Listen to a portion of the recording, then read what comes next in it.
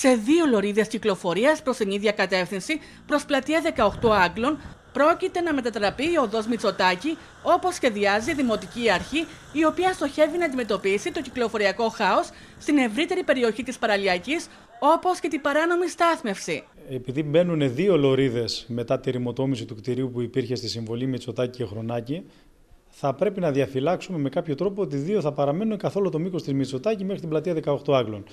Κατανοώ ότι αυτό δεν είναι πολύ εύκολο και εξετάζουμε διάφορες λύσεις για να μπορέσουμε να το πετύχουμε. Η Διαμαλάκη καταστράφηκε.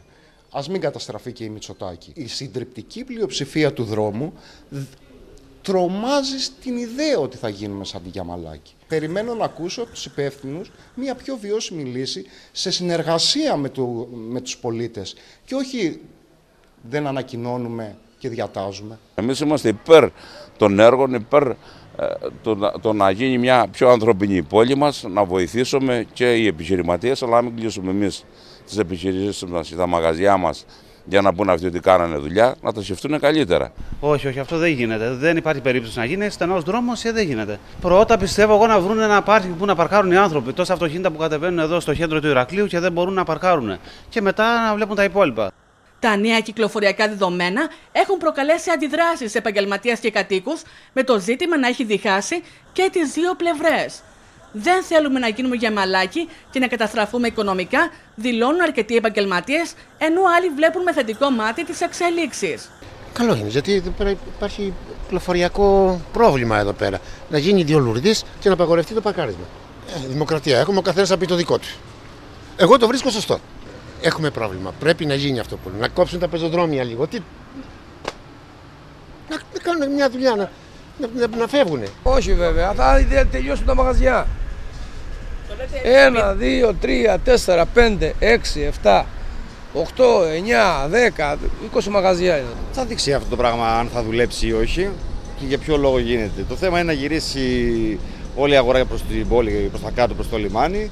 Ίσως αυτό θα βοηθήσει και τα μαγαζιά γίνει όμως ε, διπλής κυκλοφορία, συμφωνείτε; Αν βολεύει να γίνει διπλής κυκλοφορία, γιατί όχι; Εννοείται ότι θα είναι καλύτερα αν είναι διπλής κατευθύνσεως. Θα είναι πιο, πιο ταχεία η κυκλοφορία των αυτοκινήτων. Παρακάτω υπάρχει ένα περιπολικό το οποίο αστυνομεύει και προσέχει ένα γραφείο για 24 ώρες. Και δεν υπάρχει ένας δημοτικός υπάλληλος να αστυνομεύσει την περιοχή ή της τροχέας, ούτως ώστε να μην υπάρχει αυτή η κατάσταση. Υπάρχει παραβατικότητα προφανώς που δεν ελέγχεται αυτή τη στιγμή με επάρκεια και γίνεται ένας στραγγαλισμός της κυκλοφορίας. Αυτό είναι ένα μέρος του προβλήματος.